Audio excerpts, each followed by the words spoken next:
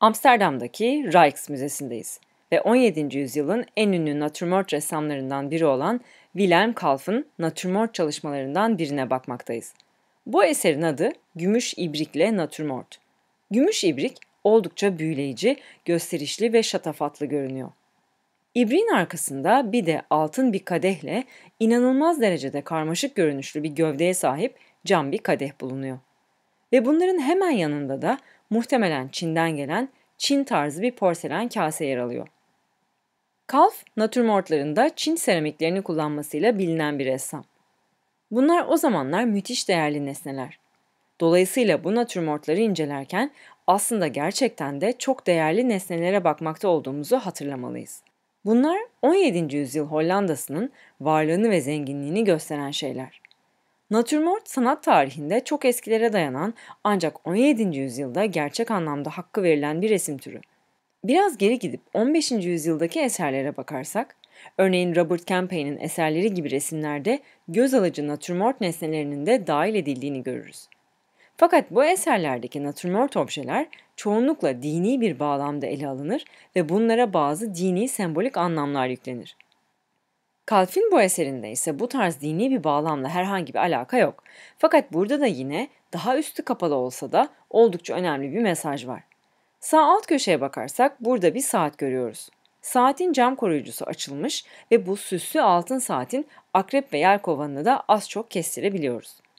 İşte bu saat zamanın ve bununla bağlantılı olarak da faniliğimizin yani ölümün bir hatırlatıcısı olarak orada bulunuyor. Yani meyvelerin ve hayatın zevklerinin tadını çıkarıyor olsak da bunların hepsi bir gün sona erecek. Ayrıca Hollanda'ya ait natürmort resimlerinde sıklıkla görebileceğimiz soyulmuş limon da yine zamanın geçip gidişini bize hatırlatan bir nesne. Soyulmuş meyve çürümeye başlar. Dolayısıyla burada da zamanın akıp gidişi ve ölümün kaçınılmazlığı bize anlatılıyor. Ama şu limonun yüzeyine bir bakın. Sanatçının aşkla kullandığı tekniğe bir bakın.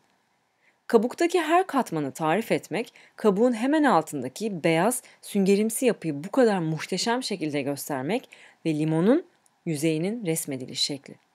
Bunların hepsi gerçekten de olağanüstü görünüyor. Bu bir limon ama adeta değerli bir taş gibi resmedilmiş. Yüzeye ve parlayan detaylara verilen bu özen camda ve gümüşte de ve tabii ki porselen yüzeyinin abartısız kalitesinde de görülebiliyor.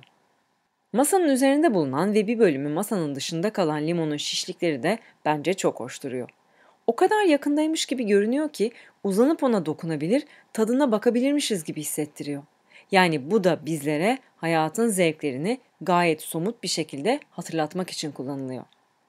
Bu resimde kullanılan ışık sanki burada doğası gereği bir sessizlik hakimmiş ve hatta ruhani bir şey söz konusuymuş gibi bir his yaratıyor. Resimde sol üst taraftan gelen bir ışık kullanılmış. Işık oldukça karanlık olan bu mimari inişin içine giriyor ve bu nesnelerin üzerinde neredeyse bir sahne ışığı gibi güzel bir vurgu yaratıyor. Bu objelerde yansımalar da kullanılmış. Hatta mesela gümüş vazonun sağ alt tarafından yansıyan limonun sarısı gibi bir nesnenin üzerinde diğer nesnenin yansımasının olduğu durumlarda söz konusu. Işığın ortada üst tarafta bulunan cam bardaktan nasıl yansıdığına ve içinden nasıl geçtiğine bir bakın. Aynı anda hem gölge hem de aydınlanmış gölgeli bir görüntü yaratıyor. Gümüş sürahinin alt kısmına baktığımızda ise sanki bir pencere yansıması görüyoruz. Dokuların tasvirinde ve yansımalarda Kempey ve Van Eyck gibi sanatçılara dayanan ve onlardan beri devam ettirilen bir geleneği görüyoruz. Özellikle kuzeye ait olan bu gelenek burada ortaya çıkışından birkaç yüzyıl sonra Wilhelm Kalf'ın bu güzel natürmort resminde de kullanılıyor.